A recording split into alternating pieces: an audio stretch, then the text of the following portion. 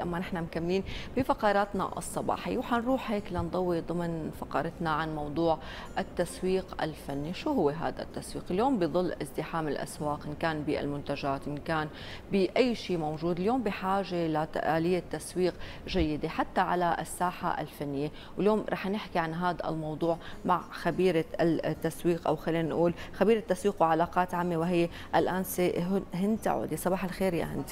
يسعد صباحك يا هند. أكيد كمان يا رشا رح نرحب بضيفنا اللي مرافقنا اليوم بالحلقة اللي خطف قلوب الجمهور وفي مربى العز وأيضا بدوره مؤخرا بمسلسل ولاد بديعة. اليوم هذا الطفل حقق شهرة واسعة وأيضا من خلال هذا الموسم الرمضاني الطفل جاد شمسه. اليوم رح يروي لنا كواليس اختياره لدور فارس ومشاهده الصعبة اللي قدمها وشو الخطوات وكيف بدأ بمجال التمثيل. يسعد صباحك يا جاد.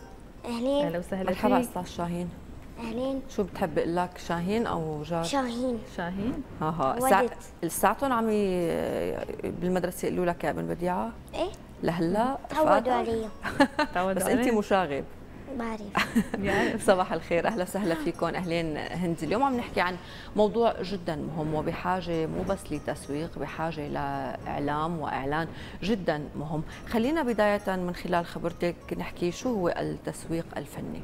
هو اليوم نحن بنعمل مثل حملات اعلانيه للشركات عن طريق فنانين نستخدم هي الشهرة والفن بنحطها بشهرة للشركات. بنعمل حملات إعلانية عن أسماء فنانين بطريقة بتليق فيهم وبتليق باسم الشركة.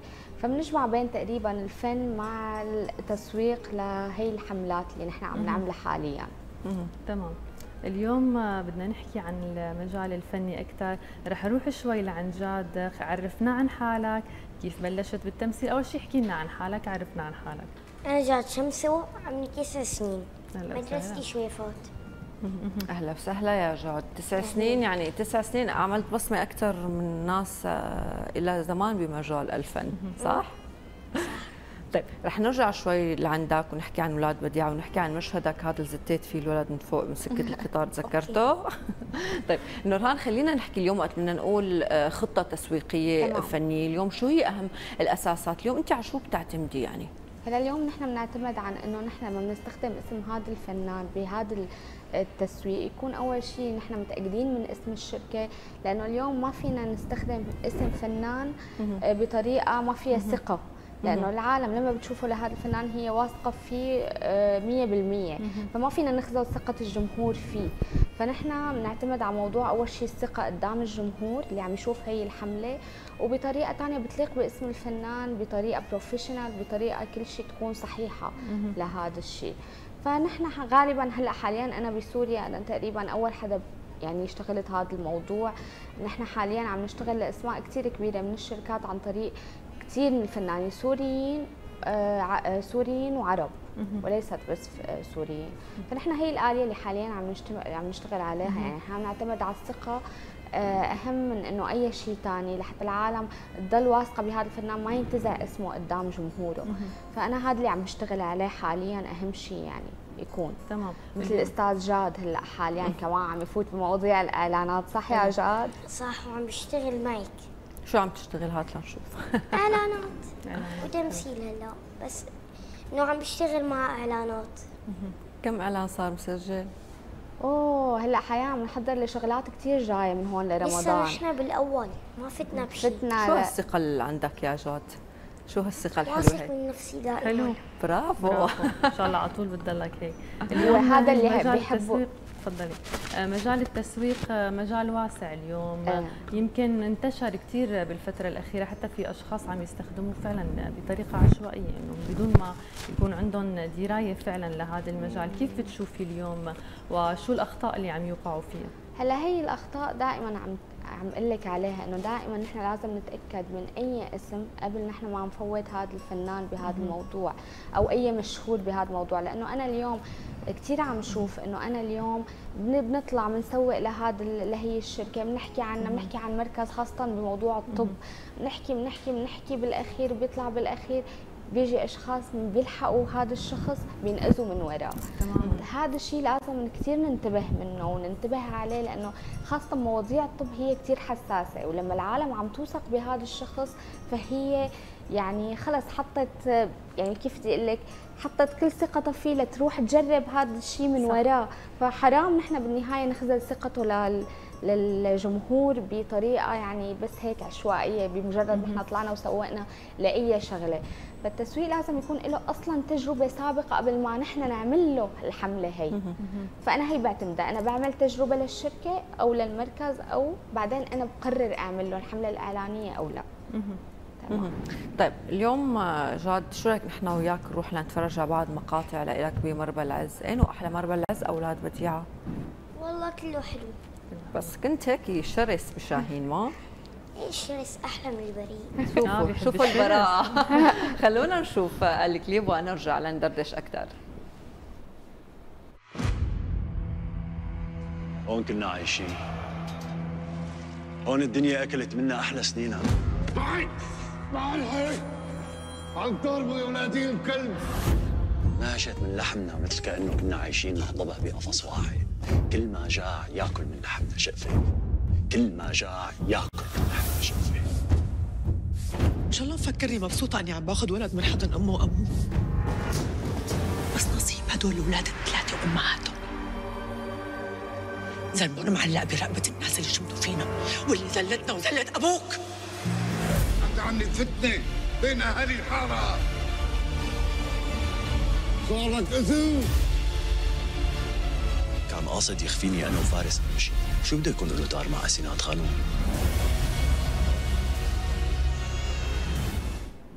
جاد خلينا هيك نرجع لهذا العمل. ونحن آه، ما خبرتنا كيف دخلت هذا المجال؟ كيف تم اختيارك؟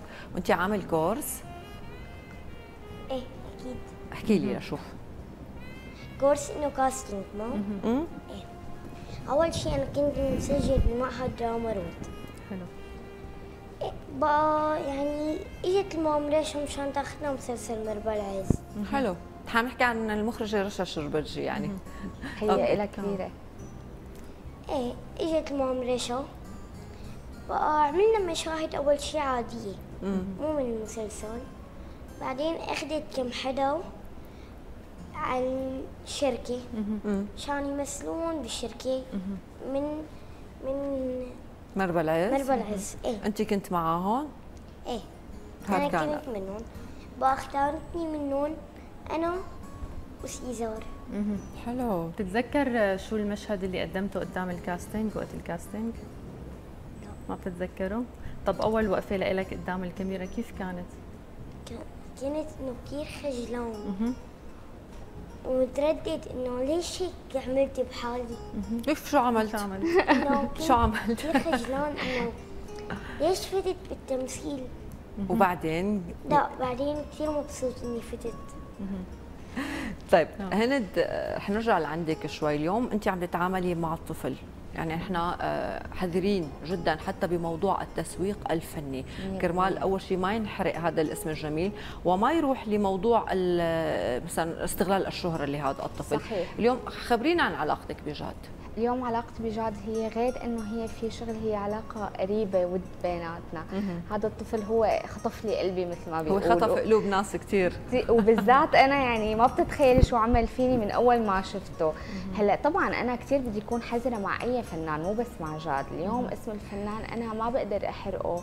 بوجوده بكثير إعلانات ولا بكثير شغلات. بس حسب الطلب بالنهاية شو اللي بيكون مطلوب. بس إحنا بالمقابل نحن مع أي فنان جاد ولا غيره نحن نتصور بطريقة بروفيشنال بتليق باسمه وبطريقة لشهرته. فأنا بكون يعني حذرة بأي شيء بده يكون فيه. وخاصة بانتقاء الإعلانات برجع بقول لك لأنه أنا باسمهم ما فيني استخدمه بإعلان ماله مضمون مثل ما بيقولوا. شغلة مالها أنا مجربتها أنا ما بقدر فيها اي اسم. يعني أسماء كبيرة فشلت بموضوع الترويج يعني شفنا أسماء من الفنانين دخلوا ب آه، خلينا نقول إعلان هنون أكبر منه. 100% وكان في انتقادات كثير له لهيك عم أقول لك أنت عم تعملي مع طفل في المفروض يكون في حذر أكثر يعني. صح صحيح. فلهيك بدنا نكون حذرين حتى بانتقاء موضوع الشركات هي أهم شغلة. يعني أنا ما عندي مشكلة نعمل عشر اعلانات بس يكونوا ناجحين ولا يكون في منهم ثغره صغيرة انضر حدا من وراء لهذا الإعلان.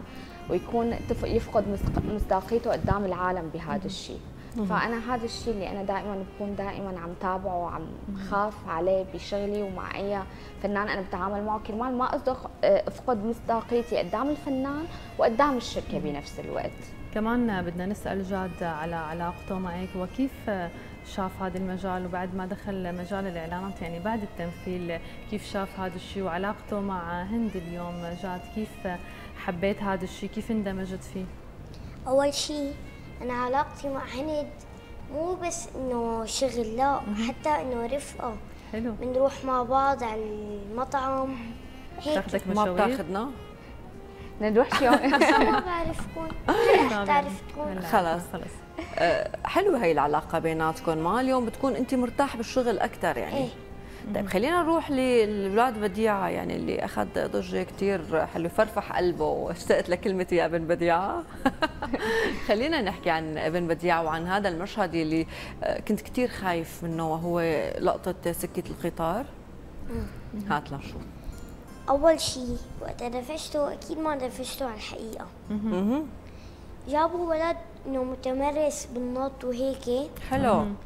وحطوا له تحت فرش. آه. فرش وكرتون وكل شيء أم أنا ما دفشته لأنه إذا دفشته يمكن يوقع على الأرض. وأنا شو عملت؟ بس كمشته وعملت هيك إنه رجعت إلي هو شو عمل زت حاله لحاله. إيه. يعني ما ما عذبك ضميرك بوقتها. إيه؟ كنت خايف منه. قبله كثير خفت وبكيت. بكيت عليه؟ لا إنه قبل ما أعمله بكيت من الخوف. إنه كيف بدي إنه كيف بدي أعمله. تمام.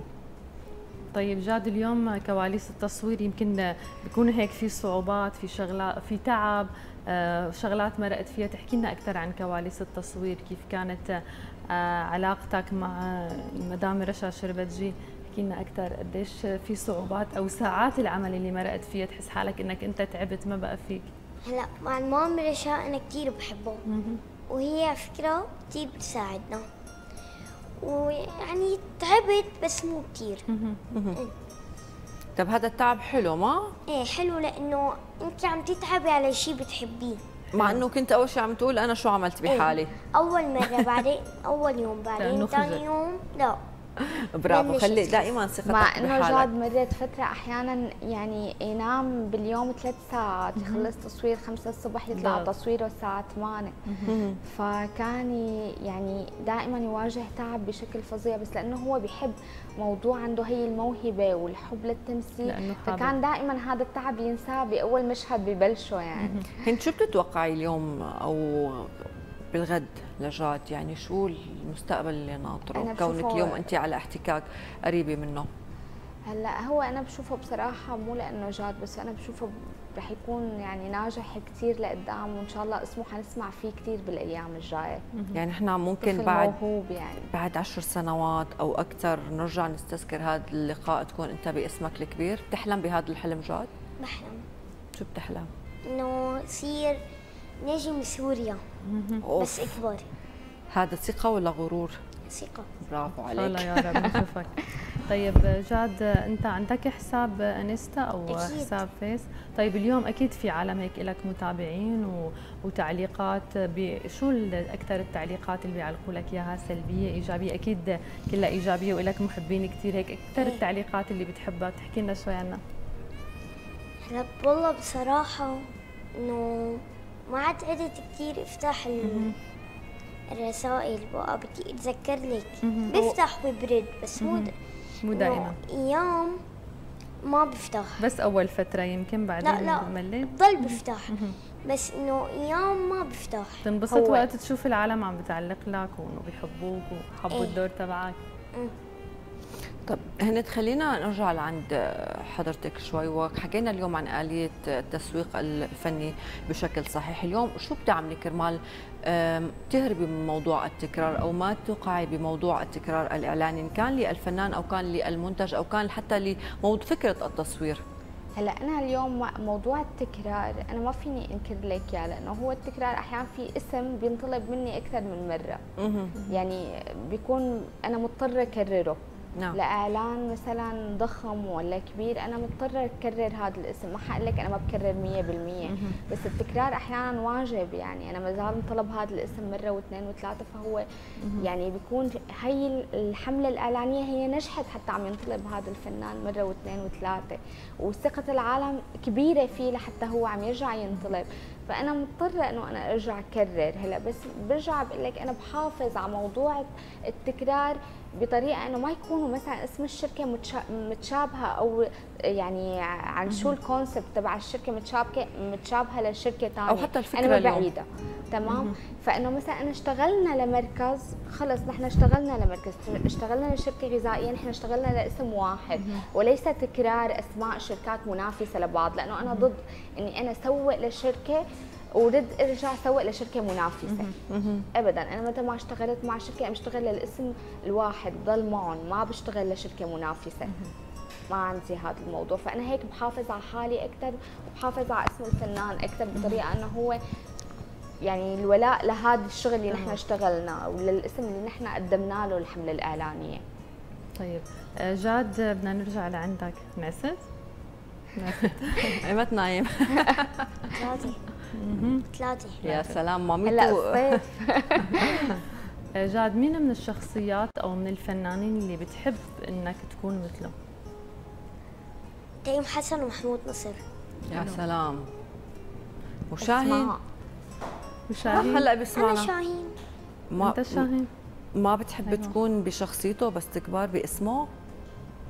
كيف حلو يعني؟ بنحب كيف يعني بس يعني يعني اليوم انت اخترت اسمين إيه. غير الشخصية اللي أديتها بولاد بديعة صح؟ هي بدها اسمين مو شخصية. هو قصده إنه أخذ الدور لوقت كبر إيه؟ يعني هو هذا الدور هو مثله كان خلص يعني انت انت إيه هو. إيه. هو طيب. كان كمان. يصير مثله.